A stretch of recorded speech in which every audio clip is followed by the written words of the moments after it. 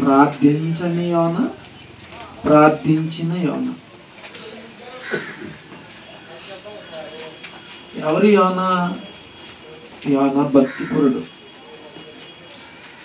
దేవుని ప్రవక్త ఇస్రాయిలకు దేవుని మాటలను అందజేసే గొప్ప ప్రవక్తగా యోన కొనసాగుతున్నాడు.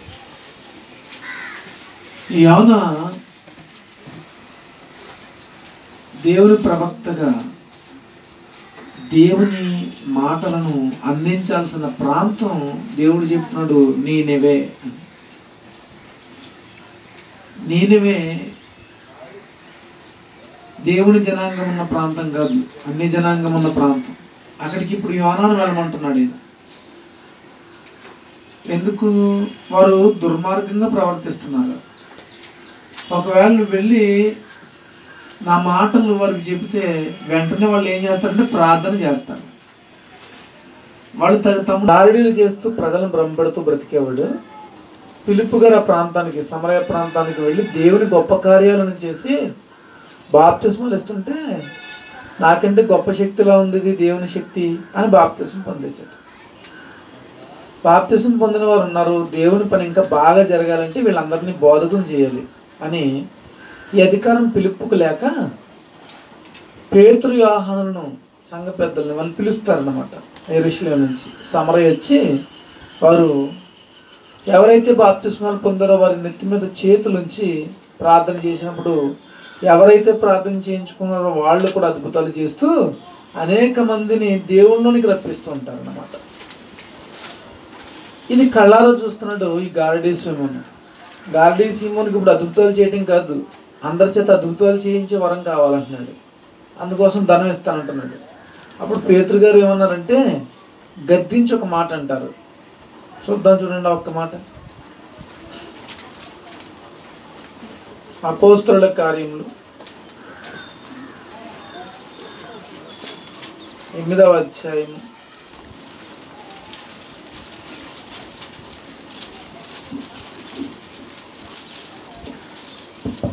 ఇరవై వచ్చిన అందుకు పేతురు నీవు ద్రవ్యమిచ్చి దేవుని వరమును సంపాదించుకుని తలంచుకున్నందున నీతో కూడా నీ వెండి నీతో కూడా నశించునుగాక నీ హృదయము దేవుని యొక్క సరి సరి అయినది కాదు. ఏమన్నాడంటే ఆయన? నీ హృదయము నీ దేవుని ఎదుట సరి అయినది కాదు గనుక ఈ కార్యమందు నీకు పాలు పంపులు లేవు నువ్వు సరిగ్గా లేవు. మరి ఇలా సరిగ్గా లేవు అన్నప్పుడు ఏం చేయాలినా వెంటనే ప్రార్థన చేసుకోవాలి కదా. చూడండి ఏం జరుగుతుంది. సరి అయినదిగా సరైనది కాదు నీ హృదయము. గనుక ఈ కార్యముందు నీకు పాలు లేవు కాబట్టి నీ చెడుతనం మానుకుని మారు మనస్సు నుండి ప్రభువును వేడుకో. అంటే ప్రార్థన చెయ్యి. పేదరు గారు అంటున్నారు అన్నమాట. నువ్వు తప్పిపోయావు. తప్పిపోయి నువ్వేం చేయాలి? ప్రార్థన చెయ్యి. ఒకవేళ నీ ప్రార్థన దేవుడు అంగీకరిస్తే ఒకవేళ నీ హృదయాలోచన దేవుడు క్షమింపబడవచ్చును. నీ హృదయాలోచన క్షమింపబడవచ్చును. నీవు ఘోర దుష్టత్వములోను దుర్నీతి బంధకంలోనూ ఉన్నట్టు నాకు కనబడుచున్నదని చెప్పేసాడండి చూసారా? అంటే తప్పిపోయిన వ్యక్తికి ముందు దేవుని మాటలు చెబితే ఆ వ్యక్తి ప్రార్థన చేయాలి. ప్రార్థన చేయమని పేతులు చెబుతున్నాడు. గార్డీ సీమోనికి అందుకు సీమోను ఇరవై నాలుగు. మీరు చెప్పిన వాటిలో ఏది నా మీదకి రాకుండా మీరే నా కొరకు ప్రభును వేడుకోండి అని చెప్పేసి వెళ్ళిపోయాడు. చూసారా? నీ పరిస్థితి బాగాలేదు అని చెప్పగానే ప్రార్థన చేయాలి. నువ్వు ప్రభుని వేడుకో అని చెప్పగానే మోకరించాలి. అలా కాదట. నువ్వు అన్నావు కదా నా పరిస్థితి బాగాలేదని అయితే నువ్వే నా కోసం ప్రార్థించే. నేను వెళ్ళిపోతున్నాను అన్నా ఇలాంటి ప్రజలు కూడా ఉంటారన్నమాట. ఇప్పుడు నేనేమే పట్టణస్తుల దగ్గరికి యోనా వెళుతున్నాడు. ఎందుకు చెప్పండి? మీ పరిస్థితి బాగాలేదు ఇక్కడేం చెప్తున్నాడు? అక్కడేదే. మీరు జాగ్రత్తగా బ్రతకాలి. దేవుని ఉగ్రత మీ మీదకి వస్తుంది అని చెప్పాలి. చెప్పగానే వాళ్ళు ఏం చేయాలి? చెప్పగానే.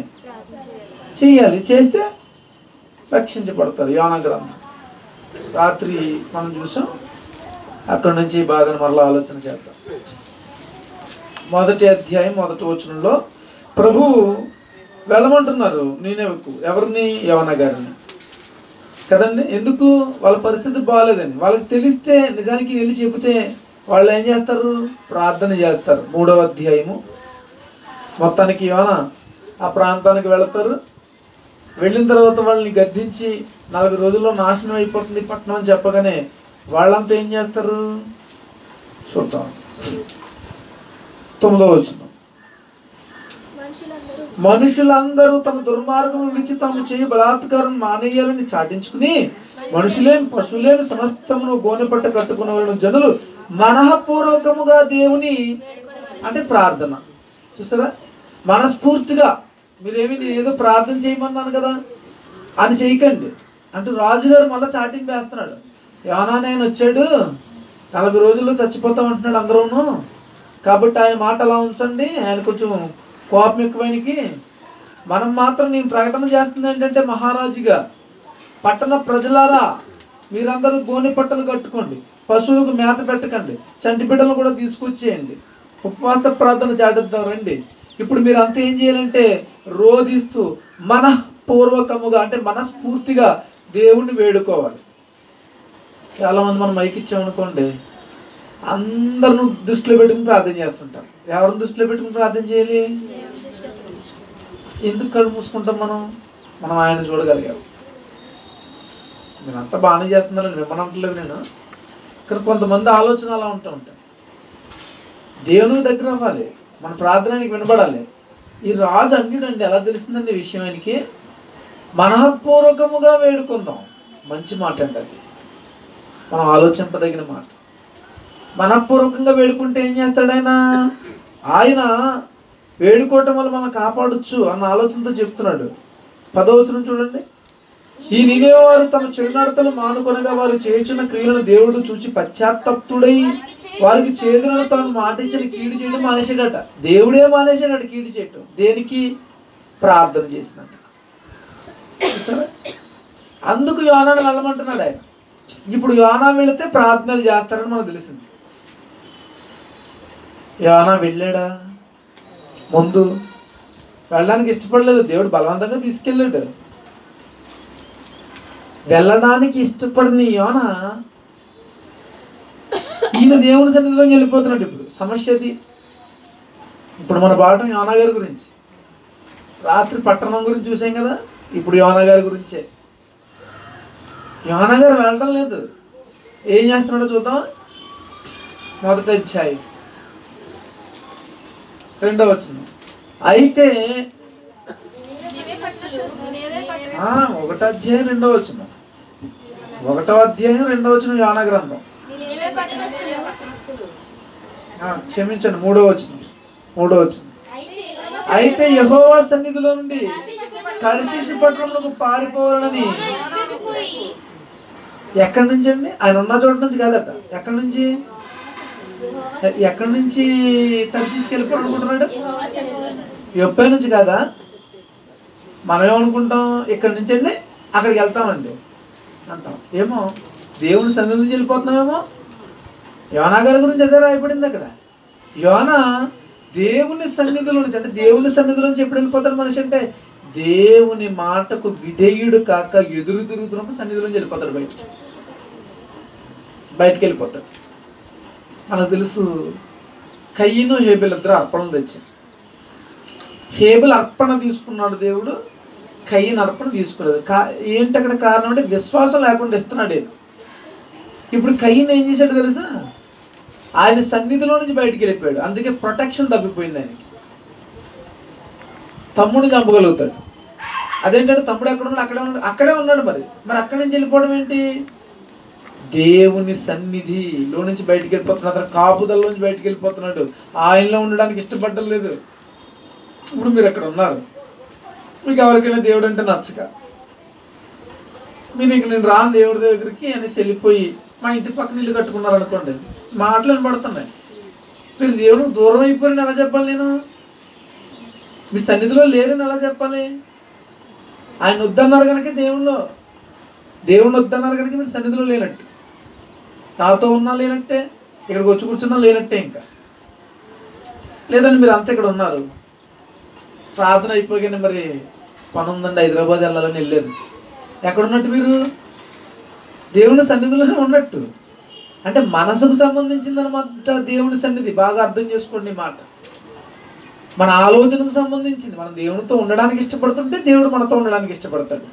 నేను దేవుడు పని చేయను దేవుడి మాటలు నాకు వద్దు అని అయిష్టంగా మీరు వెళ్ళిపోతుంటే ఆయన సన్నిధి నుంచి వెళ్ళిపోతున్నట్టు. ఇప్పుడు యోన దేవుడు చెప్పిన పని చేయక దేవుని మాటలు ప్రకటించడం ఇష్టం లేక ఆయన దగ్గర నుంచి దేవుడు చెప్పని చోటుకి వెళ్ళిపోతున్నాడు. దేవుని చెప్పని చోట కంటే ఆయన సన్నిధి నుంచి వెళ్ళిపోతున్నాడు. మీరు అప్పుడప్పుడు నాకు చెప్తుంటారు. ఏంటోనండి? అక్కడికి వెళ్ళేటప్పటికి ఇలా జరిగిందండి. అక్కడికి వెళ్ళినప్పటికి ఎందుకు జరిగిందంటే ఎక్కడి నుంచి మీరు ఆయన వెళ్ళిపోయారా? సన్నిధిలో నుంచి? అనేది నా డౌట్ అంటే ఆయన సన్నిధిలో ఉంటే ఖచ్చితంగా ఆయన రక్షిస్తాడన్నమాట. ఇప్పుడు చూడండి. యహోవా సన్నిధి నుంచి తర్శీష పట్టం పారిపోవాలని యోన ఎప్పేకి పోయి తర్శీషులకు పో ఒక వారం చూసి ప్రయాణంలో కేవిచ్చట టెక్కడు తీసుకుని. ఫ్రీగా ఏమి వెళ్ళలేదండి ప్రవక్త. టెక్కడు తీసుకుని రెడీ అయిపోయాడు. యహోవా సన్నిధిలో నిలవక వాడవారితో కూడి తర్శీషులకు పోడుకు వాడెక్కేశాడు. చూసారా? వెళ్ళిపోతున్నాడు. దేవుని సన్నిధిలో నుంచి వెళ్ళిపోతున్నాడు. ఇప్పుడు మనకు తెలుసు ఏం జరిగింది. ఇది ఇంకో పాట మరలా ఎందుకు ఆపేస్తున్నానంటే ఇక్కడ నుంచి ఇంకో పాట ఉంటుంది. సముద్రం రేగుతుంది తుఫానుతో వాడ బద్దలయ్యే పరిస్థితి వచ్చేసింది. అందరూ తమ తమ దేవుడికి మొక్కుతున్నారు. మరి ఈయనేం చేస్తున్నాడు? ఇందాక నుంచే మాట్లాడలేదు. ఆయనకి ఈయనకి నెల మొక్కుతాడు మరి. చక్కగా నిద్రపోతున్నాడు. వాడ కింద భాగానికి వెళ్ళిపోయి అటు ఈయన. వాడ నాయకుడు వాడ నడుస్తున్నంతసేపు వాడ ఏ రూట్లో నడుస్తుందో చూస్తుంటాడో వాడ పగిలిపోయే ప్రమాదం వస్తే ప్రజలు ఏం చేస్తున్నారో చూస్తుంటాడు ఆయన. ఎందుకు? ఎందుకంటే మనల్ని కాపాడేది నేను కాదు ఇక. నా వల్ల ఏం కాదు. దేవుడే కాపాడాలి. మీరు అందరూ దేవుడిని కొలవండి అని చెప్పేస్తాడు ఎవరు కనపడ్డా సరే. అంటే పరిస్థితి చేదాటిపోయింది అనమాట మనందరం చావులోనికి వెళ్ళిపోతున్నాం. ఇదేం తుఫాన్ ఇది? నా ఎక్స్పీరియన్స్లో ఎప్పుడు రాలేదు ఇది. వాడ బద్దలైపోతుంది ఏం చేయాలో మాకు అర్థం కావట్లేదు. వాడ నాయకుడు అంటే కెప్టెన్ ఆయన వాడ నడుపుతూ నడుపుతూ చేతులు ఎత్తేసాడు ఇక. ఈ తుఫాను బారి నుంచి మనం తప్పించుకోలేం. వాడ బద్దలైపోతే మనందరం సముద్రంలో కలిసిపోతాం. ఒకవేళ రక్షింపబడ్డాము అంటే అది దేవుని వల్లే జరుగుతుంది. కాబట్టి మీరందరూ ఏం చేస్తారంటే వాడ నడిపే నావంగా చూడటం. ఎవరెవరు ఏ ఏ దేవుళ్ళు నమ్ముకుంటున్నారో ఆయా దేవుడికి ప్రార్థనలు పూజలు పునస్కారాలు అన్ని చేసుకోండి అంటున్నాడు ఆయన.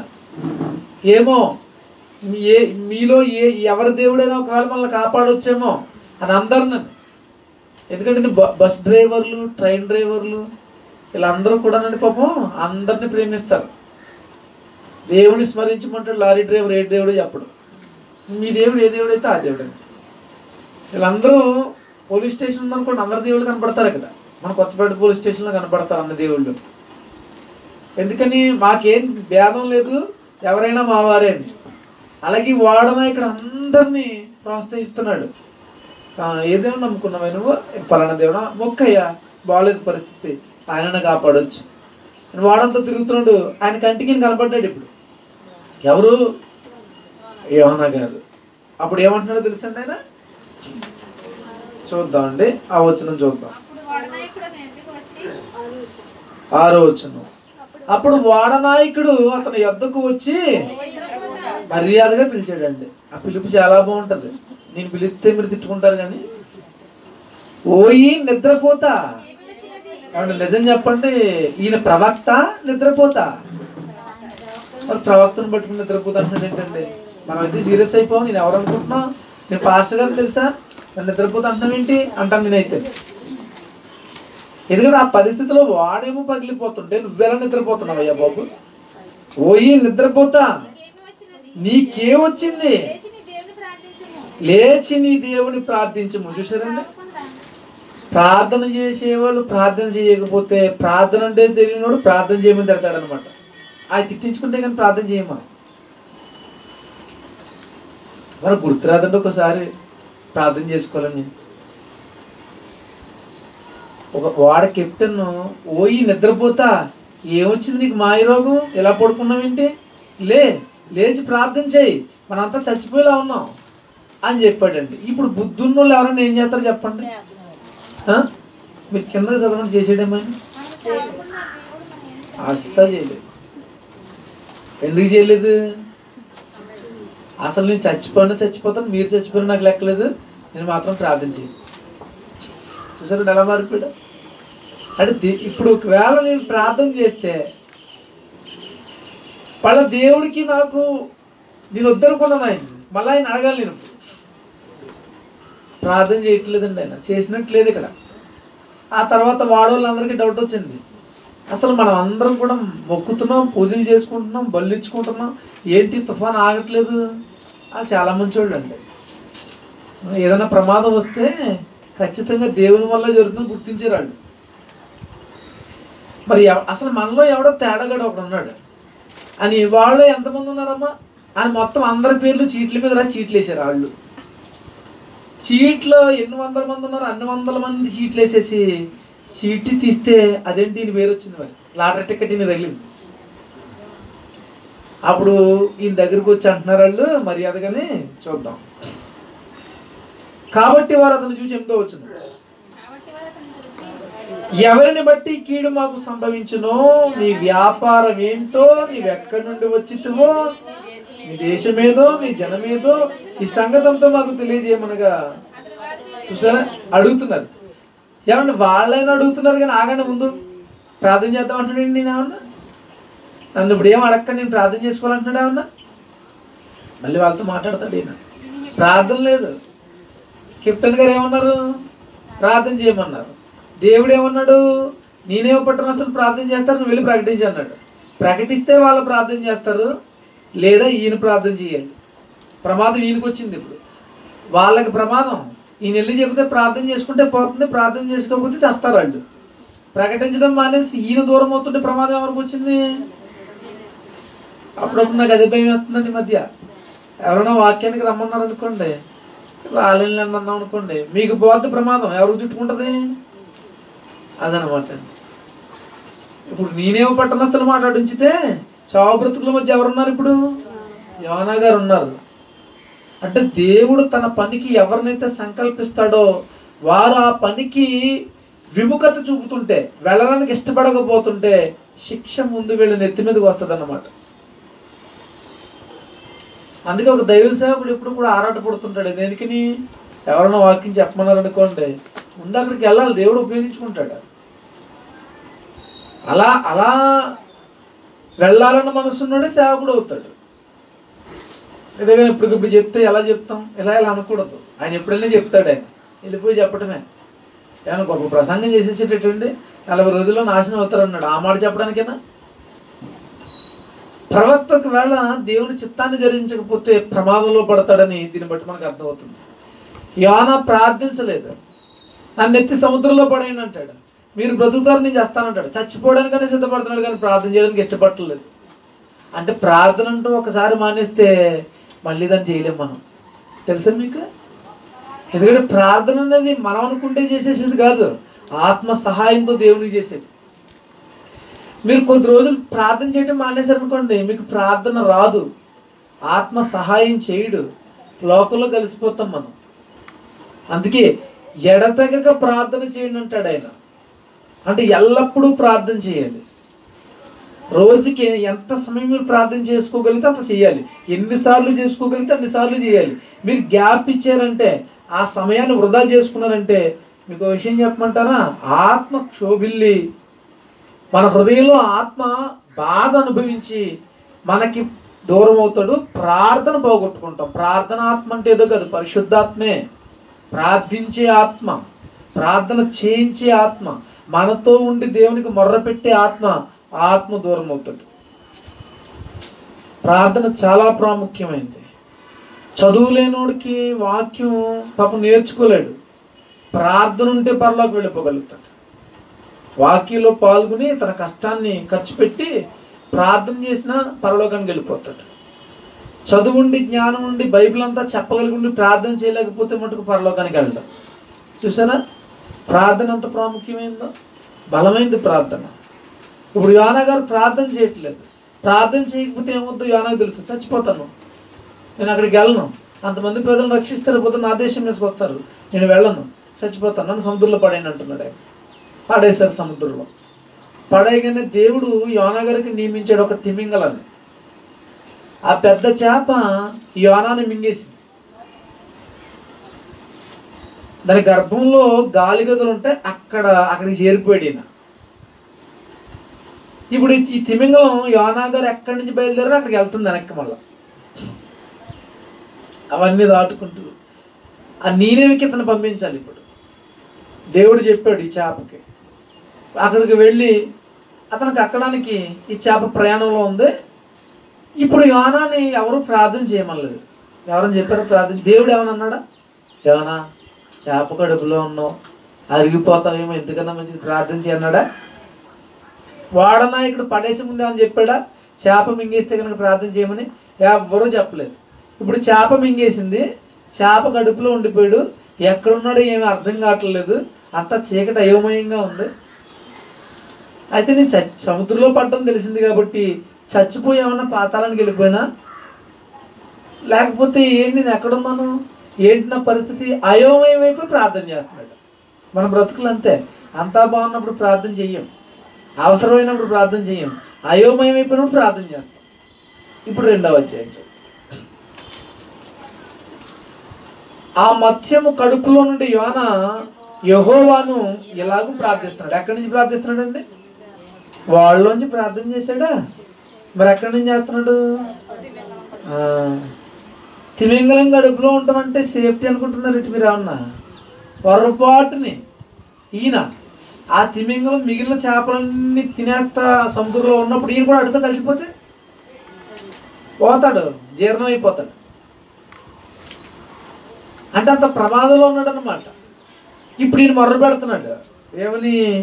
నేను ఉపద్రవంలో ఉండి యహోవాకు మనవి చేయగా ఆయన నాకు ప్రత్యుత్తరం ఇచ్చాడు పాతాల గర్భంలో నుండి నేను కేకలు వేయగా నేను నా ప్రార్థనను అంగీకరించి ఉన్నావు నేను నన్ను అగాధమైన సముద్ర గర్భంలో పడవేసి ఉన్నావు.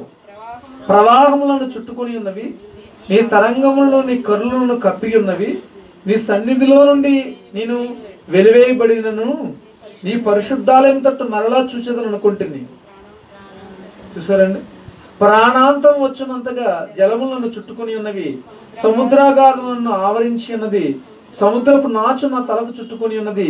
నేను మరెన్నటికి ఎక్కి రాకుండా భూమి గడిలు వేయబడి ఉన్నవి. పర్వతముల పునాదుల్లోనికి నేను దిగి ఉన్నాను.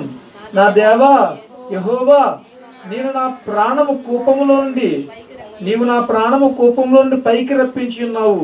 కూపములో నుండి నా ప్రాణము నాలో మూర్చల్లగా నేను యహోవాను జ్ఞాపకం చేసుకుంటుని నీ పరిశుద్ధాలయంలోనికి నీ యొద్దకు నా మనవి వచ్చాను. అసత్యమైన వ్యర్థ దేవతల ఎందు లక్ష్యముంచువారు. తమ కృపాధారమును విసర్జించురు కృతజ్ఞతాస్తులు చెల్లించి నీకు నేను నీకు బరులు అర్పింతును. నేను మొక్కుకొనిన మొక్కుబడులను చెల్లింపక మానను. యహోవా యొద్దనే రక్షణ దొరుకును. చూసారండి అలా ప్రార్థన చేస్తున్నాడు? నేను ఏదో అనుకున్నాను.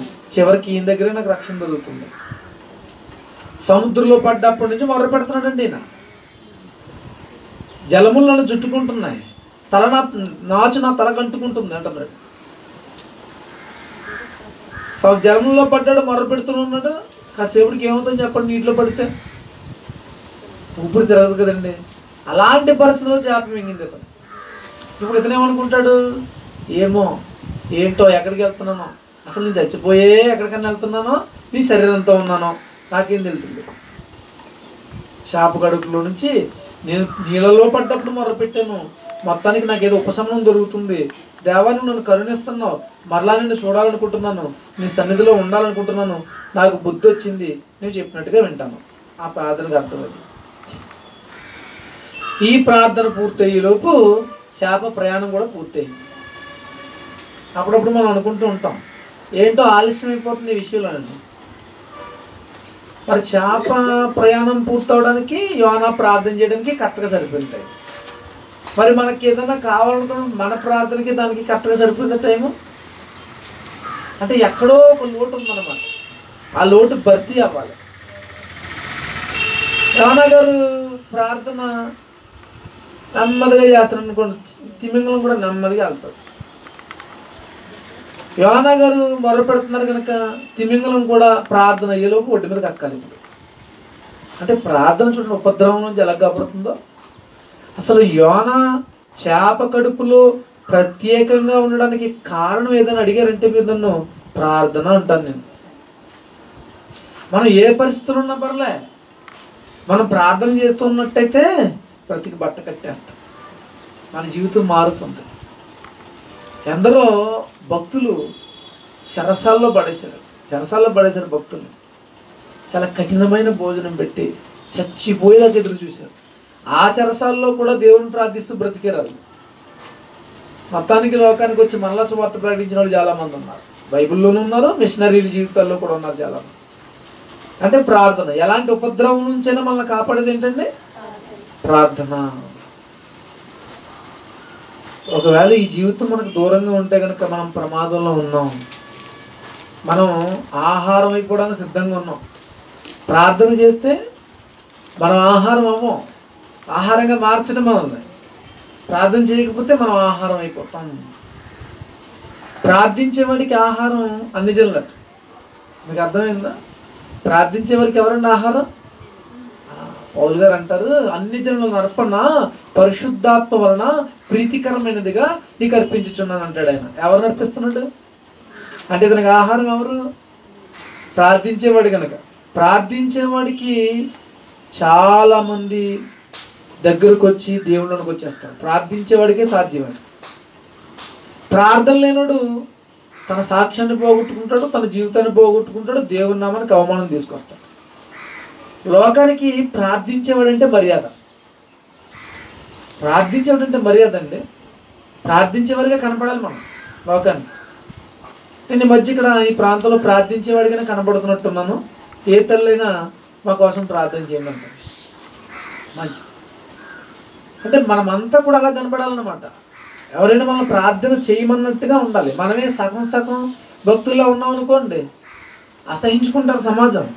అలా కదండి. వాళ్ళని ప్రేమించడానికే సగం సగం ఉన్నాను అంటారు మీరు. తప్పు. వాళ్ళు అలా ఎప్పుడు అనుకోరు. ఎప్పుడు అలా అనుకోరు. దేవుని కోసం ఖచ్చితంగా బ్రతికే వారిని సమాజం గౌరవిస్తుంది. వారి మాటను బట్టి వారి ప్రార్థన చేయమని అడుగుతారు. దేవుని దగ్గర అవుతారు. ఇప్పుడు యోన తిమింగలము కడుపులోని ప్రార్థన చేస్తున్నాడు ఈ ప్రార్థన తిమింగలాన్ని సరైన మార్గంలో నడిపించింది. ఆ గర్భంలో ఇతను సజీవంగా ఉంచింది. ఇప్పుడు ఈయన ఎక్కడ పడుతున్నాడో చూద్దామా?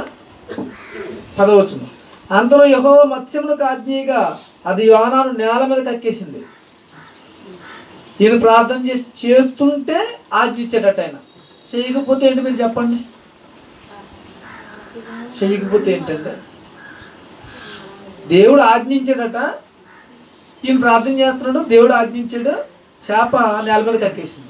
నేను అనుకుంటున్నాను ప్రార్థన కానీ యోనా గారు చేప కడుపులో చేయకపోతే దేవుడు ఆజ్ఞ ఇవ్వకపోనేమో చేప కక్కకపోనేమో కక్కిన సముద్రంలోనే కక్కునేమో లేకపోతే మింగునేమో ఏదో జరుగును. దేవుడు ప్రార్థించే వాళ్ళు వెళ్ళంటున్నాడు ఆయన. ఎలాంటి ప్రమాదం? అది చూసి తలడలకూడదు ఎలాంటి ప్రమాదంలో సరే దేవుడిని ప్రార్థించగలుగుతున్నానా అన్నది ఆలోచించాలి. మీరు ఎప్పుడన్నా వెళ్ళారా? చేప కడుపులోకి వెళ్తే మళ్ళీ రామ్మను జీర్ణం అయిపోతాం. ఈయన వచ్చాడు. ప్రార్థన. దేవుణ్ణి ప్రాధేయపడతాడు తప్పు చేశాను ప్రభువా నీకు వ్యతిరేకంగా వెళ్ళాలనుకున్నాను. ఇదిగో మొత్తానికి ఉపద్రవంలో పడ్డాను. అని కాపాడు ప్రభు. నేను తప్పు చేశానంటే అర్థం ఏంటి? సరిదిద్దుకుంటాననే కదా. సరే దారిలోకి వచ్చాడు. నువ్వు దారి మార్చి నీ నీ స్థావరానికి వెళ్ళిపోకి ఈయన పట్టుకుని. నా బిడ్డీడు నీ కడుపులో ఉన్నాడు. నువ్వు పట్టుకొచ్చి నేల మీద కక్కాలి అని చెప్తున్నాడు చాలు. అప్పుడు వచ్చి తిమింగలం నేల మీద కక్కేగానే ఇప్పుడు యోన అక్కడి నుంచి నేను వెళ్ళాడు ప్రార్థించని యోన యోడ ఓడలో ప్రార్థించిన యోన చేప కడుపులో. వాడలో ఉన్నప్పుడు వేరే ప్రాంతానికి వెళ్ళిపోదాం సేఫ్గా అనుకున్నాడు ఆయన. చేప కడుపులో ఉన్నప్పుడు చచ్చిపోవడానికి సిద్ధంగా ఉన్నాడు అనుకున్నాడు ఆయన. అంటే ప్రార్థన అనేది ఎప్పుడు చేయగలమో తెలుసండి బాగానే? చెప్పండి ఎప్పుడు చేయగలం? నేను బాగానే ఉన్నాను. అన్నోళ్ళు ఎవరు ప్రార్థన చేయలేరు. నా పరిస్థితి బాగానే ఉంది. నేను బాగానే బతుకుతున్నాను. అన్నోళ్ళు ఎవరు ప్రార్థన చేయలేదు నేను ప్రమాదంలో ఉన్నాను. దేవుడు నన్ను కాపాడుతున్నాడు. ఆయనకే ప్రార్థన చేసుకోవాలి. నా స్థితిగతులు ఆయన మారుస్తాడు. ఆయన మార్చినా మార్చకపోయినా ఆయన దేవుడు. ఆయన వెన్నంటూ ఉండాలి ఆయన కలిగి జీవించాలి. నా రక్షణకర్త ఆయన అన్న మనస్సు మనకు వచ్చి ప్రార్థన చేస్తే తప్పక మన మనవి ఆయన ఆలకిస్తాడు. అదేదైనా కానివ్వండి. అది మీ ఇంట్లో ఎవరైనా మారడం కానివ్వండి మీ పిల్లల జీవితాలు కానివ్వండి మీ వ్యాపారాలు కానివ్వండి ఉద్యోగాలు కానివ్వండి మీ వ్యవసాయాలు కానివ్వండి ఏదైనా కానివ్వండి ఆయనకి తెలియంది ఏది ఏమైనా ఉందండి? ఆయన దృష్టికి కనబడిన సృష్టం లేదంటాడు ఆయన. ఆయన సృష్టించిన దాంట్లో ఏది కూడా ఆయన కనబడకుండా ఉండదు. సూక్ష్మజీవులు ఉంటాయి. మనకు కనబడతాయా? జీవులే. అవి బతికే ఉంటాయి. మనకు రోగాలు కలిగేయడానికి ఉంటాయి పాపం అవి. మరి ఆ జీవులను కూడా కాపాడుతుంది ఎవరు? సూక్ష్మజీవులు ఎక్కడ ఉంటాయి? పరలోకులు ఉంటాయా? ఆకాశాలు ఉంటాయా? మన దగ్గరే ఉంటాయా? మన దగ్గరుండే మనకు కనపడట్లేదు కానీ ఎవరికి కనపడుతున్నాయి? అంటే కనబడని సృష్టం ఏది లేదు. దాయలేము ఆయన దగ్గర ఏది తేట తెల్లం చేయాలి మన బ్రతుకు. అలా తేట తెల్లం చేసి దేవా నీ దృష్టికి నేను యథార్థవంతునిగా లేను. ఇదిగో నా ప్రార్థన ద్వారా నన్ను అంగీకరించు యథార్థత నాకు అనుగ్రహించు. అంటే కనుక దేవుడు ఖచ్చితంగా మనం నిలబెడతాడు. అలాంటి మంచి మనసు దేవుడు మనకి ఇవ్వాలి ప్రార్థించని యోనగా ఉండకూడదు. ప్రార్థించే అలాగా ఉండాలి. ఈ ప్రార్థించటం మనం సేఫ్గా ఉన్నప్పుడు దేవా నీ పని చేయలేకపోతున్నాను నన్ను క్షమించిన ఆయన అంటూ ప్రసవేదంతో ప్రార్థన చేయగలిగాం అనుకోండి ఆయన మాట్లాడతాడు. యోన నేనే ఒక వెళ్ళడం ఇష్టం లేకపోతే ప్రార్థన చేయాలి. ఏమని? ప్రభువా నేనేమే ప్రజలు అంత మంచోళ్ళు ఏం కాదు. ఎన్నిసార్లు మన దేశం మీదకి యుద్ధానికి వచ్చారు వాళ్ళు? కాబట్టి నేను వెళ్ళను. దయచేసి నన్ను క్షమించు. అని అనుకుంటు తర్వాత ఏదో మాట్లాడదు కదా- కదా ఆయన? మాట్లాడతాడు కదా? అలాంటి మాటలేం లేవు. నీకు నచ్చింది ఏదో నువ్వు చెప్పు నాకు నచ్చింది ఏదో నేను చేస్తాను. అది దేవునిలో క్రమం కాదు మాట్లాడాలి. అది దేవునిలో పద్ధతి కాదు. మీకు నచ్చింది మీరు చేయడానికి నాకు నచ్చింది నేను చేయడానికి మనమంతా ఒక చోటలేము మనమంతా కలిసి దేవునికి నచ్చిందాన్ని చేయడానికి ఉన్నాం. ఆయన చిత్తం జరిగించడానికి ఉన్నాం. యోన ఆ విషయంలో ప్రార్థించాలి కానీ ప్రార్థించలేదు. ఒకవేళ వాక్యం మిమ్మల్ని బాధ పెట్టి మీ బ్రతుకులను తప్పుని ఎత్తు చూపించి మీరు ఇలా ఉండకూడదని చెప్పింది అనుకోండి వాక్యం. అప్పుడు మీరేం చేయాలి? ఒకవేళ అలా చేయటం మీ వల్ల కావట్లేదు అనుకోండి. ముందు ప్రార్థించాలి. ప్రభువా వాక్యం ద్వారా నువ్వు నాతో ఇలా చెప్పావు. నిజమే నువ్వు అన్నట్టుగా నేను చేయాలి కానీ నా పరిస్థితులను బట్టి నేను ఇలా చేయలేకపోతున్నాను. దయచేసి ఈ విషయంలో నన్ను మన్నించు. సరైన సలహా సహాయం నాకు అనుగ్రహించు. మీ చిత్తానుసారంగానే జీవిస్తాను. ఇప్పుడు ఉండలేకపోతున్నానేమో. ఖచ్చితంగా జీవిస్తాను. అంతవరకు నీ కృప నాకు తోడుగా ఉంచు అని ప్రార్థించాలి. కానీ చాలామందికి ఏమవుతుంది తెలుసా? వాక్యంలో ఉందో ఈయన చెప్పాడు మన గురించి అనుకుని దూరం అయిపోతుంటారు. అది చాలా తప్పు. ప్రార్థించాలి. ఒకవేళ హృదయం గాయం అయితే వాక్యాన్ని బట్టి ముందు దేవునికి ప్రార్థించాలి. దేవా ఇప్పటికిప్పుడు ఎలా చేయమంటే ఎలాగనైనా ఇప్పటికిప్పుడు చేయలేను ప్రభు నా పరిస్థితులు ఎలా ఉన్నాయి? దయచేసి నాకు కొంత సమయం ఇవ్వండి. లేదా నా నాకు నాకున్న ప్రాబ్లం తీసివేయండి. నాకు సహాయం చేయండి. అని మంచి హృదయంతో ప్రార్థన చేస్తే దేవుడే మన విషయంలో కృప చూపుతాడు. అంతేనే కానీ ఇలా అన్నారు కదా నేను దానికి వ్యతిరేకం అనుకోకూడదు. యోన యహోవా నీనెవకు వెళ్ళి సువార్త ప్రకటించమంటే దానికి వ్యతిరేకమయ్యి కనీసం ప్రార్థించకుండా టిక్కట్ తీసుకుని వాడెక్కేసాడు ఆయన ఊరుకుంటాడా? వాడు నాయకుడి చేత తిట్టించి మరీ చెప్పించాడు. నిద్రపోతా లేచి ప్రార్థన చేయన్నాడు సిగ్గండి. మీరు నేనైతే ఇంత మాట అన్నావు కదా నేను కోడలో ఉన్న సముద్రంలో దూకేస్తాం మనం. నిజం ఏమండి? నిద్ర మానుకుని అహర్నిశలు ప్రార్థించేవాడే ప్రవక్త అంటే. మీకు అర్థమైందా? నిద్రపోరు ప్రవక్తలు. ప్రార్థన చేస్తుంటారు. నిద్రమాని దేవుని కోసం ప్రార్థించే ప్రవక్తను పట్టుకుని నిద్రపోతున్నాడండి నా ఎంత బాధ అంటది. మనమైతే గొడవన పెట్టేసుకుంటాం సముద్రంలో దుక్కేస్తాం మనం ఏమంటాం తెలుసా? ఏంటి బాబు వాడకెప్తాను నువ్వు? నిద్రపోతా అన్నావు. దేని బట్టి అన్నావు నువ్వు? అసలు నా నా బ్రతికేంటో నీకు తెలుసా? నేను ఎవరు అనుకుంటున్నావు? దేవుని ప్రవక్తను నేను. ఎప్పుడు నిద్రపోతాను తెలుసా? అర్ధరాత్రి పన్నెండు దాడిన తర్వాత నిద్రపోతాను మూడు గంటలు లేచిపోతాను. నువ్వే ఎక్కువ నిద్రపోతావు నేనే తక్కువ నిద్రపోతాను. నువ్వే నిద్రపోతావు నేను నిద్రపోతాను కాదు. అంటూ గొడవకి వెళ్ళిపోతాం అతనితో మనం కానీ అతను ఎందుకు అన్నాడు? చచ్చిపోయే పరిస్థితుల్లో నిద్రపోతున్నాడు కనుక అన్నాడు. సరే ప్రార్థన చేయాలి. చేయలేదు. చివరికి చేప గర్భంలోంచి మొదలుపెట్టేటట్ట మీరేం చేస్తారు చెప్పండి. దేవుని సన్నిధిలో ఉన్నారు ప్రార్థన చేస్తారా? ప్రార్థన చేసి దేవునికి దగ్గర అవుతారా? ప్రమాదంలో దేంట్లో కనుక ఏంటేమంటారా ఎందుకంటే ఆయనకి ప్రార్థన చేయడం ఇంపార్టెంట్ ఆయన వాడు అంటే ఎవడో తెలుసా? ఆయనకు ప్రార్థన చేసేవాడే. ఆయన వారంటే ఎవరు? ఆయనకు ప్రార్థన చేసేవారే. ఆయన భక్తులు దివారాత్రములు మొర్ర పెట్టుచుండగా యహోవా వారి మొర్ర ఆలకించుచున్నాడు. సరే ఎంత మంచి మాట. మనం దివారాత్రులు ప్రార్థన చేయాల్సిన వారమే ఉన్నాం. ఒకవేళ ప్రార్థించకపోతే మట్టుకు మనం ఆయన వారం కాము. ఆయన వారం చేసుకోవడానికి అని మనల్ని శ్రమలో పెడుతుంటాడు. సమస్య వచ్చిందనుకోండి సరైన ప్రార్థన లేదు కదండి సమస్యలో చిక్కుకున్నాను. అది నిజం కానీ ఎవ్వరు చెప్పరు. అది నిజం. ప్రార్థన చేయండి అంటారు కానీ నేను కూడా ప్రార్థన చేసుకుంటాను అంటారండి ఎవరు. అక్కడే ఉందమ్మ మన జీవితం. దేవుడు మనల్ని కనిపెడుతున్నాడు. మనం ఆయన వారుగా ఎప్పుడు ఉంటాం చెప్పండి.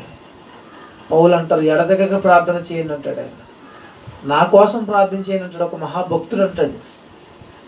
అంటే సంఘానికి దేవుడిచ్చిన గొప్ప వరం ప్రార్థించటం. నశించిపోతున్న ఆత్మల కొరకు భారంతో ప్రార్థించటం. ఒక భక్తుడు ఒక మాట రాశాడండి. చాలా ఆశ్చర్యం అయిపోయింది దాని పిల్లలకు ఒక పాఠం కింద తయారు చేస్తున్నాం. ఏంటంటే సమాజంలో చనిపోతున్న లక్షల మంది క్షతగాత్రులు ఎవరికి సంబంధించిన వారు అని అడిగాడు. మీరు చెప్పండి ఎవరికి సంబంధించిన వాళ్ళు సమాజంలో దేవుడు అంటే తెలియక మరణాలతో చచ్చిపోతున్న వాళ్ళు ఉన్నారు కదా వాళ్ళందరూ ఎవరికి సంబంధించిన వాళ్ళు మంచిది. చూసారా ఎలా చెప్పారు మీరు? కళాభక్తులు అంటాడు సంఘానికి సంబంధించిన వాళ్ళు అంటున్నాడు. అదేంటి సంఘానికి నాకు ఆశ్చర్యం మీకులాగే. సంఘానికి సంబంధించడం ఏంటి? ఆ దేవుడి నమ్మడికి మాకేం సంబంధం? అంటే ఉంది సంబంధం. మీరు నోరిప్పుతాలు మారును. మీరు నోరు ఇప్పలేదు కనుక మారలేదు కనుక చావుకు మీరే కారణం అంటున్నాడు ఈయన. నిద్రపడద్దని మనకి ఇప్పుడు. ఎవరైనా చనిపోయారు మన ఊళ్ళో అంటే నా గుండెలో దడపడుతుంది ఎందుకంటే దానికి సంజాసి చెప్పుకోవాల్సిన ఎవడిప్పుడు మనమే సంఘం. ప్రభువా మమ్మల్ని క్షమించండి ప్రభువా. అతనికి మేము శుభార్త అందించలేకపోయాం. అందుకే చనిపోయాడు. మమ్మల్ని క్షమించండి అని మళ్ళీ మనం పశ్చాత్తాపడాలి. ఎంత ఆలోచన చూసారు ఇది? శతగాత్రులందరూ సంఘానికి సంబంధించిన వారంటే మనం నిద్రపోవాలా? నిద్ర పడద్దా? లేదంటే ఎందుకంటే భక్తుల జీవితాల్లో నిద్ర లేదు అసలు కంటే ఇదిగో ఇలా ఆలోచించారు. మనం ఎందుకు నిద్రపోతున్నాం? యోనాగారిలో ఆలోచించాం వాడలో యోన. ఆ యోనాను బట్టి అండి సముద్రంలో పడేయగానే తుఫాన్ ఆగిపోవడాన్ని బట్టి అన్ని జనులందరూ దేవుణ్ణి నమ్ముతారండి. అన్ని జనులందరూ దేవుని బలిస్తారు ప్రార్థన చేస్తారు గొప్ప దేవుడు ఈయన అంటారు యోనాకు ముందే తెలుసు గొప్ప దేవుడు అని ఆయన సరే పట్టించుకోవడం మనం ఎవరో మనకు అర్థం కావట్లేదు. మనం భక్తిగా ఉంటే మనల్ని బట్టి అన్యులైన దేవుడు నమ్ముకుంటారు కానీ మనం భక్తి లేకుండా బ్రతుకుతుంటాం. మనం ఇప్పుడు ఏం చేయనవసరం లేదు. ఒక్కసారి మనం ఆయన ప్రజలైన తర్వాత కొత్త కొత్త యుద్ధాలు పోరాటాలు మనం ఏం చేయనవసరం లేదు. మనతో ఉండి ఆయనే జరిగించుకుంటాడు. మన ఊరక నిలిచుంటే చాలు. బైబిల్లో నాకు చాలా బాగా నచ్చిన సందర్భాలు ఏంటో తెలుసా అంటే బలహీనులైన దేవుడి నమ్మిన రాజుల మీదకి బలమైన సామ్రాజ్యాలు యుద్ధానికి వస్తాయి. అప్పుడు వీళ్ళు వేదంతో ప్రార్థన చేస్తే అని అంటాడు కదా ఊరక నిలిచి యహోవా చేయు కార్యమును రక్షణ కార్యమును చూడు అంతే. ఇప్పుడు పని ఏంటంటే పెద్ద యుద్ధం చేసే వాళ్ళకి వెళ్ళిపోయి చేతులు కట్టుకుని చూడటమే. నేను అక్కడ ఉండాలి అక్కడ ఉంటే ఆ కార్యం జరుగుతుంది. ఆ యుద్ధాలన్నీ కూడా దేవుడు చేసినట్టుగా రాయించాడు దేవుడు. కానీ నమ్మిన వాడిని అక్కడ పెట్టాడు. ఎందుకంటే జన జనమందరికీ దేవుడు తెలియాలంటే ఆయన నమ్మిన వాడు అక్కడ నుంచుని ఉండాలి. ఇప్పుడు నేను ఈ ప్రాంతంలో యథార్థంగా పవిత్రంగా పరిశుద్ధంగా ఉపవాసములతో ప్రార్థనలతో దేవుని సన్నిధిలో గోజాడుతూ ఉండాలంతే. నేనేమి యుద్ధాలు చేయనవసరం లేదు. ఆయన చేస్తాడు. ఆయన హృదయాలను మారుస్తాడు. జనమును కంపింపజేస్తాడు.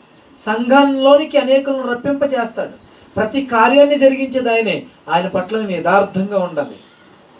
ఊరక నిలుచుండి చూడటమే. దేవుడు తన కార్యాన్ని తను చేసుకుంటూ వెళ్ళిపోతాడు. అట్టి కృప కోసం ఎదురు చూస్తున్నాను మనమంతా కూడా అలానే ఉండాలి. ప్రార్థించేవారిగా ఉండాలి. ప్రార్థన చాలా గొప్పది ప్రేమైన వల్ల ప్రార్థన పరలోకపు సైన్య సమూహాన్ని నేల మీదకు దించగలదు. సహాయం చేయడానికి ఎవరు రావాలి? పరలోకంలో దూతలు రావాలి. చూసారు? అది మన ప్రార్థన వల్ల జరిగింది. హిజ్గియా ప్రార్థన చేస్తే సహాయం ఎక్కడి నుంచి వచ్చింది చెప్పండి మీరు? పరలోకం నుంచి వచ్చింది దేవదూత రూపంలో. ప్రార్థనకు అంత శక్తి ఉంది. ఆత్మను రక్షించగలదు ప్రార్థన. మన ఆత్మను దేవుని మార్గంలో నుంచి తొలగిపోకుండా కట్టడ చేయగలదు ప్రార్థన. మనలోని పరిశుద్ధాత్మ మన ప్రార్థనలో మండిస్తుంటాడు. ప్రార్థిస్తూ చచ్చిపోయిన వాళ్ళు ఉన్నారు ప్రేమ వాళ్ళ భక్తులు. డేవిడ్ లివింగ్స్టన్ అన్న ఆయన ఎంతో వేదనకరమైన జీవితం జీవిస్తూ సువార్త పనిలో తన దేహాన్ని నలగొట్టుకుని ఒక కన్ను కనపడక ఒక చెయ్యి పని చేయక ఒక కాలు పని చేయక. మిగిలిన స్నేహితులు సహచరులతో స్వార్థ యాత్రలకు వెళుతూ వెళుతూ ఒక రాయి దగ్గర ప్రార్థన చేసుకుంటా ఉన్నాడు అంతే ఆయన. సరే ఆయన ఏకాంతంగా వదులుదాం ప్రార్థన చేసుకుంటాడైనా మనం కూడా ఈ పక్క ప్రార్థన చేసుకుంటాం అనుకున్నారు. ఎంతసేపు అయినా లేవట్లేదు ప్రార్థనలో నుంచి పైగా ఆయన ప్రార్థన చేసుకుంటే అదో రకమైన వెలుగంతా కమ్మేసిందట ఆ ప్రాంతంలో ఏంటిదంతానే లివింగ్స్టన్ గారు ప్రార్థన చేస్తుంటే వెలుగు వచ్చేసింది అనుకుని చాలాసేపు ఉండి తర్వాత కొద్ది గంటలు పోయిన తర్వాత ఆయన దగ్గరికి వెళ్ళి చేసేటప్పటికి చచ్చిపోయి ఉన్నాడు ఆయన. ప్రార్థనలో. ప్రార్థనలో. ఆఫ్రికా కోసం అహర్నిశలు పాటలు పడ్డాడు ఆయన చచ్చిపోయిన తర్వాత ఈయన దేశస్తులు వచ్చి ఆయన తీసుకెళ్ళిపోతుంటే ఆ ప్రాంతం వాళ్ళందరూ కూడా మారిన తర్వాత ఏమంటే ఈయన మా కోసం ప్రసవేదన పడ్డాడు. ఈయన మా కోసం ప్రార్థించాడు. ఈయన ఇక్కడే సమాజ్ చేయండి అంటే వాళ్ళు ఒప్పుకోవట్లేదు. ఇంత గొప్ప భక్తి పురుని మా దేశంలో సమాజ్ చేస్తాం. శవం కోసం కొట్టుకుంటున్నారు వాళ్ళు ఎందుకని? శవం అంటే చిన్న విషయం కాదు. భక్తి పరుడి శవం ఎక్కడ కప్పెడతారో అక్కడ దేవుని చిత్తం జరిగిపోతుంది. దేవుని కృప ఆ ప్రాంతవాసులకు తోడై ఉంటుంది. మేలు జరుగుతుంది ఆ ప్రాంతానికి. ఇప్పుడు వీళ్ళు వదలట్లేదు వాళ్ళు వదలట్లేదు. చివరికి వీళ్ళు ఏమన్నారంటే బాబు ఇక్కడే కదా ఆయన మా కోసం గుండె పగిలి ప్రార్థన చేసి మరణించాడు. ఆ గుండెకాయని తీసి ఇక్కడ సమాధి చేయండి అయ్యా చాలు మాకు మీ శవాన్ని తీసుకోండి అంటే గుండెనేమో ఒక చోట ఈ శవాన్నేమో ఒక చోట ప్రార్థన చేసి సమాధి చేశారు. చూసారా? ఉందా మనకు అంతటి ప్రార్థన జీవితం? ప్రార్థన అంత కష్టమైంది ఏం కాదు మోకరించి మొర్ర పెట్టడాన్ని ప్రార్థన అంటారు. అవునా? కానీ అలా ఉండడానికి ఇష్టపడలేదు మనం. మనం ప్రార్థన పరులం కావాలి. ఈ పాటలు నాకు చెప్పడానికి ధైర్యం చాలక నేను రాత్రంతా ప్రార్థన ఉన్నాను నా అనుభవంలో ఎక్కువసార్లు లేను. రాత్రంతా మొదలుపెట్టడం కానీ నిన్న రాత్రే మళ్ళీ ప్రార్థన నుంచి వచ్చాక తెల్లవారి వరకు కూడా ప్రార్థనలో ఉన్నాను. తర్వాత నా బిడ్డలను నా భార్యను లేపి మళ్ళీ ప్రార్థన చేసుకున్నాం. ఎందుకంటే ప్రార్థన అంత గొప్పదన్నమాట నా హృదయంలోకి ఒక సమాధానాన్ని దేవుడు పంపించాడు. ప్రార్థన చేసినప్పుడు మనం మనం తగ్గించుకుంటూ ఉంటాం. దేవుడు నాతో మాట్లాడాడు అని నేను ఎలా చెప్పగలను? మళ్ళీ మీరు తప్పుగా ఆలోచిస్తారు కానీ ఒక సమాధానమైన ఆలోచన నా హృదయంలో పంపించాడు. అదేమంటే ఇప్పటి వరకు నేను శత్రువులుగా భావిస్తున్న వారందరినీ నువ్వు క్షమించు. వారిని క్షమాపణ అడిగాను. సుమారు నేను ఒంటి గంట దాటి రెండు దగ్గరకు అవుతున్నప్పుడు దేవుని ఆలోచనను ఆయన మాటను గ్రహించి వెంటనే సెల్ ఫోన్లో మెసేజ్ పెట్టాను ఒకవేళ మనం ఒకరినొకరు క్షమించుకోకపోతే దేవుడు మనల్ని క్షమించడు. కాబట్టి మీరంటే నాకు ఏ విధమైన విరోధ భావం లేదు. మీరేమైనా నన్ను మీ విషయంలో తప్పు చేశానని భావిస్తుంటే నన్ను క్షమించండి. ఇట్లు మీ క్షేమం కోరే మీ సహోదరుడు రాజు. అని మెసేజ్ ఒక పది మందిని సెలెక్ట్ చేసుకుని నన్ను శత్రువులుగా భావించే వారికి మెసేజ్ పెట్టాను కింద ఎందుకు అసలు నేను ఎప్పుడు అనుకోలేదు?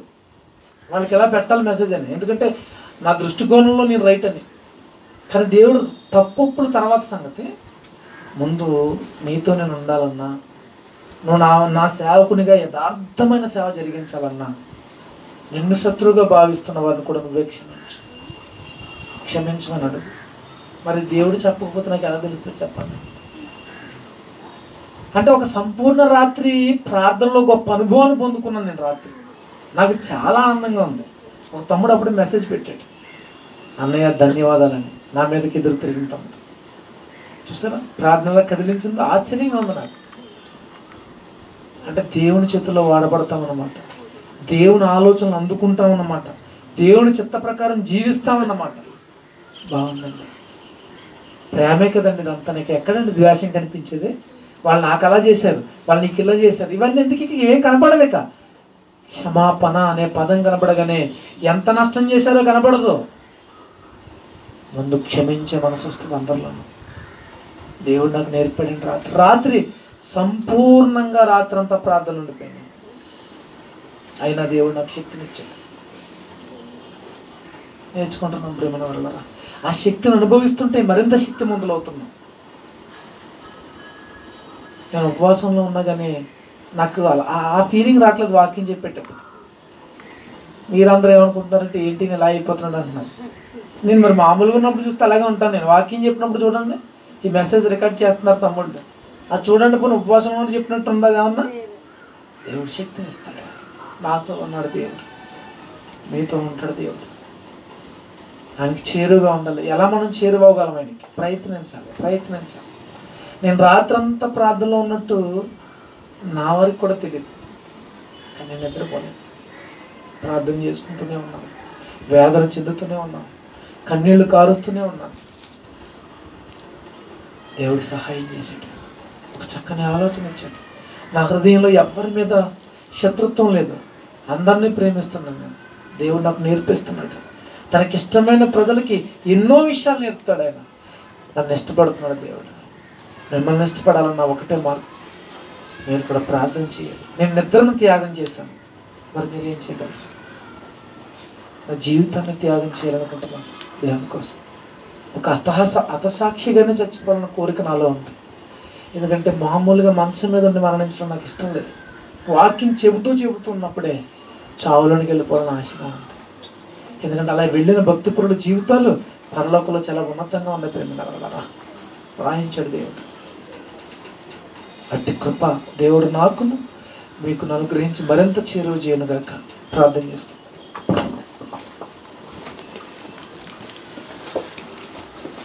కృప కలిగిన మా కన్న తండ్రి. అవును నాయన గొప్ప అనుభవాలను మాకు నేర్పుతున్నావు తండ్రి.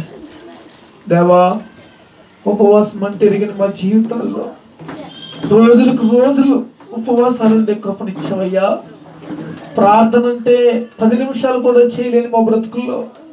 రాత్రంతా కనిపెట్టి మర్రపెట్టుటకు సహాయం చేశావయ్యా. మా జీవితాన్ని మారుస్తున్నావని మాకు అర్థమైంది తండ్రి. మీ సేవకునిగా నన్ను నిలబెట్టుకుంటున్నావు నాకు అర్థమైంది ప్రభు. ధైర్యం వచ్చింది నేను హృదయంలోనికి. నీ ఆదరణ నాకు లభించింది. నేను ధైర్యంగా చెప్పగలను నువ్వు నాతో ఉన్నావు. దేవా ఇట్టి మహాకృపని బిడ్డను నాకు అనుగ్రహించావు. సంఘానికి నీ దయచేయండి మా సంఘంలో నిద్రపోతులు ఉండకూడదయ్యా. సంఘం అంటే ఒక రక్షణ వాడయ్యా. ఆ వాడలో నిద్రపోతుంటే నిద్రపోతులుగా ఉంటే ఎలా తండ్రి? మొరపెట్టేవారిగా ఉండాలి. అప్పుడే అనేకులు వాడలోనికి రాగలుగుతారు. నిద్రపోతే నా తండ్రి నిద్రపోతా అని తిడతారయ్యా సమాజంలో ఉన్న వారంతా. మేము నిద్రపోతులం కాదయ్యా. ప్రార్థించేవారం తండ్రి. మాకు ఒకరు చెప్పవసరం లేదయ్యా. మేము ప్రార్థన చేస్తాం. మేము ప్రార్థించని యోనగా ఉండం. ప్రార్థించిన యోనగా ఉంటాం ప్రభు.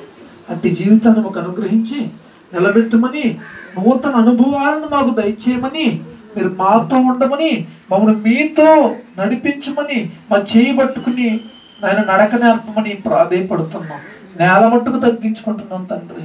మా శత్రువులు ఎవరైనా సరే నా ప్రభు మమ్మల్ని విధంగా భావిస్తున్న వారి పాదాలను పట్టుకోవడానికి కూడా సిద్ధంగా ఉన్నాం తండ్రి. నీతో మేము ఉండడమే మా జీవితానికి ప్రాముఖ్యం నాయన. నాయన ఎవరి మీద కోపగించి మీకు దూరం అయితే మాకు నష్టమే కదా ప్రభువా. అందుకని తండ్రి ప్రతి ఒక్కరిని క్షమించి ప్రతి ఒక్కరిని నా తండ్రి స్వీకరించి వారందరితో నా తండ్రి సమాధానంగా ఉండే కృపను ఈ బిడ్డలని మాకు ప్రసాదించుతున్న విధానానికి నేను కృతజ్ఞతలు సమర్పిస్తున్నాం. ఆయన ఎక్కడో నా తండ్రి మీ ప్రేమతో నడిపించి ఏ విధంగా ఉండాలో ఆ విధంగా నేర్పించండి ప్రభువా. ఇంకెవరి విషయాలైనా నా తండ్రి తగ్గించుకోవాలంటే తగ్గించుకుంటాం ప్రభు దయచేసి మా బ్రతుకులను మార్చి మమ్మల్ని జ్ఞాపకం చేసుకుని మీరున్న లోకానికి నడిపించమని ప్రాధాయపడుతూ సంఘాన్ని సంఘ బిడలను జ్ఞాపకం చేసుకోనండి. మా సంఘానికి నా తండ్రి ఒక మందిరాన్ని ఇవ్వండి. ప్రార్థనా మందిరం అని పేరు పెట్టుకుంటాం ప్రభువా. ప్రార్థనే ప్రాముఖ్యం. దివారాత్రులు మొర్ర పెట్టేవారుగా మీ బిడ్డలు ఉంటారు తండ్రి. ఆయన నేను నీ సన్నిధిలో గోజారుతాను ప్రభువా. అందుకోసం మాకు మందిరాన్ని ఇవ్వండి ప్రభువా. వాక్యం చెప్పుకోవడానికి జ్ఞానం నేర్పుకోవడానికి కాదయ్యా. ప్రార్థించుకోవడానికి మందిరం ఇవ్వండి అయ్యా.